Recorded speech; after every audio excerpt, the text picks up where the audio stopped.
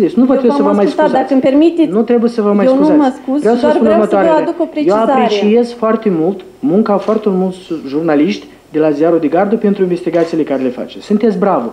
Societatea are nevoie de astfel de echipă. Dar în același timp, o să vă taxăm și noi, politicienii, pentru manipulările pe care le faceți. Și în cazul de față, consider că ați făcut o manipulare. Nu ați precizat că, că virgulă, Candu a zis că ăsta este un exemplu. Așa cum ar fi dat un exemplu unei drone